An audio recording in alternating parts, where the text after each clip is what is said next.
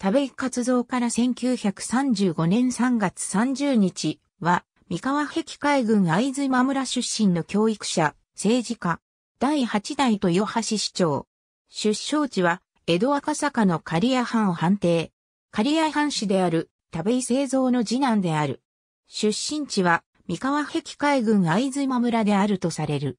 兄の田部井隆太郎は教育者となり、愛知県内の学校の訓導や校長、富山県私学などを務めている。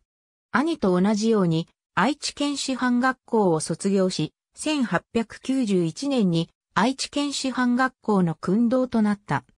その後愛知県師範学校の助教諭となり、1898年4月には、ぬかた郡私学となった。1901年には、はず郡の西尾尋常高等小学校の校長となり、1906年には、はず郡立農商補修学校の初代校長も兼任している。田部井は探究教授法の研究、実践、指導で知られている。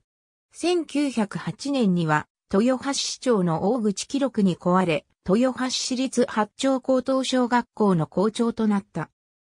豊橋市では、豊橋市学務委員、豊橋市小学校長会長、豊橋市教育協会長などを歴任しており、さらに、三河全国小学校長会長、愛知県教育会役員なども歴任している。八丁高等小学校長時代には、公共図書館の設置を訴え、1912年には、校長との兼任で、豊橋市立図書館初代館長となった。1919年には八丁高等、小学校長の座を辞し、株式会社東海ペニーの総支配人となった。東海ペニーはやがて東洋宝飾株式会社に吸収されたため、東洋宝飾の津工場や伏見工場で労務管理を担当している。1925年10月には、吉川一太郎市長の下で、豊橋市助役に就任した。とはいえ、助役就任時には、司会で市長も面識なきようと突っ込まれるほどであり、吉川市長の意思に反する助役就任であると、囁かれた。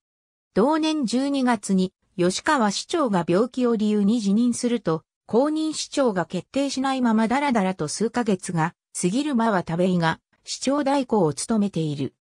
その後、豊橋市会の最大派閥であり大口が率いる同種派に押されて、豊橋市長選挙に出馬し、1926年8月5日には、吉川の公認の豊橋市長に就任した。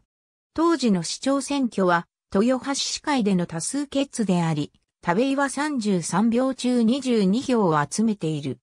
豊橋市長時代には、水道事業で大きな成果を残しており、1927年に寄港した豊橋市上水道は1929年に通水している。1927年には、豊橋市立女子商業専修学校を開校させ、1929年には夜間商業専修学校を開校させている。1928年には、厚見郡役所跡に豊橋市役所を移転させ、1929年には豊橋駅西口を開設させた。田部井の在任中は昭和教皇の不況下だったが、1930年には豊橋市産業博覧会を開催した。1930年8月4日に市長の座を退任し、官僚として岩手県知事や台湾総督府文通局総長などを歴任した丸も藤平には担当地した。1935年3月30日に死去した。1937年には向山緑地に田部活造先生聖徳碑が建立された。ありがとうございます。